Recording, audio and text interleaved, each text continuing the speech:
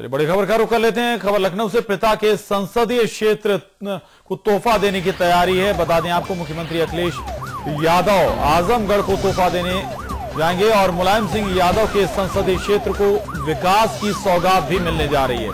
सांसद चुने जाने के बाद पहली बार आजमगढ़ जाएँगे मुलायम सिंह यादव। 6 फरवरी को मुलायम सिंह के साथ अखिलेश यादव भी आजमगढ़ का दौरा करेंगे।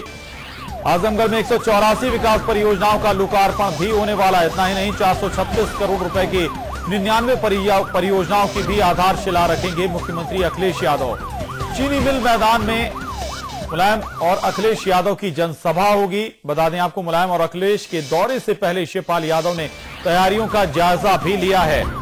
तो आजमगढ़, मुलायम सिंह यादव का संसदीय क्षेत्र आजमगढ़, जहाँ पर कई सौगातें देने की तैयारी हो गई है। न केवल मुलायम सिंह, बल्कि अखिलेश यादव भी दौरा करने वाले हमारे साथ हमारे संवाददाता लखनऊ से संजय राजन इस वक्त जुड़ गए हैं। संजय, आजमगढ़ को अब तमाम सौगातें देने की तैयारी हो रही है और बताया जा रहा है कि अब न केवल मुख्यमंत्री अखिलेश यादव, बल्कि मुलायम सिंह यादव भी वहाँ एक साथ एक जनसभा करने वाले हैं। उसी दौरान इन तमाम योजनाओं की बात रखी जाएगी।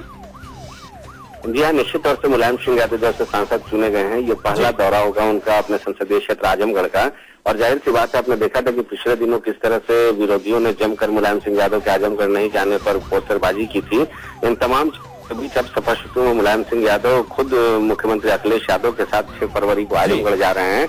और न सिर्फ़ आजमगढ़ जा रहे हैं बल्कि तोहफों की एक भारी भरकम सौगात लेकर के जा रहे हैं। पाँच करोड़ रुपए की योजनाओं की आधारशिला रखी जानी है। करीब 90 करोड़ की बनी हुई जो परियोजनाएँ हैं, उसका लोकार्पण होना है। तो कुल मिलाकर ये कहा जा सकता है कि ये निश्चित तौर पर एक तोहफों के साथ मुलायम सिंह यादव पहली बार अपने संसदीय क्षेत्र आजमगढ़ जा रहे हैं और इसकी गंभीरता इस बात से आंकी जा सकती है कि खुद कैबिनेट मंत्री शिवपाल सिंह यादव कल से वहाँ पर कैंप किए हुए हैं और पूरे तैयारियों का जायजा ले रहे हैं। तो ज़ाहिर सी बात है कि विरोधियों की जो वहाँ पर एक मुहिम चल रही है मुलायम विरोधी। उसको किस तरह से करारा जवाब दिया जाए इस मंच से मुलायम सिंह यादव और खुद मुख्यमंत्री अखिलेश यादव जवाब देने वाले हैं। सटियाओं चीनी मिल परिसर में एक विशाल जनसभा का आयोजन भी किया गया है जिसको मुलायम सिंह यादव और मुख्यमंत्री अखिलेश यादव कैबिनेट मंत्री शिवपाल सिंह यादव संबोधित करेंगे। बिल्कुल तो देखना होगा तैयारियों का जायजा भी लिया जा चुका है। आजमगढ़ जाने वाले हैं। न केवल मुलायम सिंह यादव, बल्कि मुख्यमंत्री अखिलेश यादव और तैयारियों का जायजा भी शिवपाल यादव के ज़रिए ले लिया गया है। कई सौगातें आजमगढ़ की जनता को वहाँ पर मिलने वाली हैं। कई योजनाओं का शिलान्यास भी करेंगे मुलायम सिंह और अखिलेश यादव। शुक्रिया आपका, संजय, पूरी जानकारी।